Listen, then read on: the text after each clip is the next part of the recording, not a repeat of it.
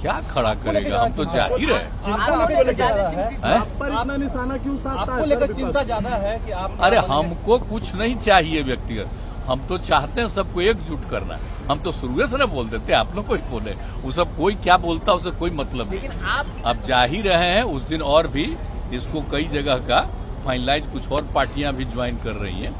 तो सब मिल करके कौन कौन कहाँ कहाँ लड़ेगा ये सब बात भी हम चाह रहे हैं कि जल्दी तय कर आप लोग आपको टारगेट करता है भाजपा का लोग। क्या? क्यों टारगेट लेकिन लोग बोल रहे हैं कि आपसे बिहार संभल नहीं रहा है। सब तो कोई मतलब है जी। उस पर कोई ध्यान देने की ज़रूरत नहीं है।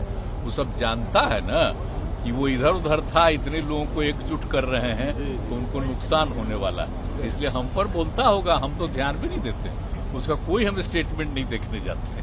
सबसे महत्वपूर्ण पक्ष है कि आज़ाद हिंदुस्तान में पहली बार किसी को हटाने के लिए और किसी को लाने के लिए गठबंधन नहीं हो रहा है, बल्कि लोकतांत्रिक मूल्यों, संवैधानिक संस्थाओं के संरक्षण, देश के संघीय ढांचे के अपमान के आधार पर देश की राजनीतिक पार्टियों ने इंडिया नाम का एक गठबंधन बनाया।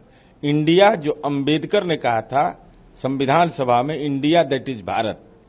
अब हरेक पार्टी को अपना विस्तार करने का अधिकार है, और मल्लिकार्जुन खड़गे साहब से लेकर करके माननीय संजय सिंह जो आप पार्टी के हैं, उन्होंने साफ़ तौर पर यह मंतव्य दिया है कि हम लोग एकजुट होकर लड़ेंगे।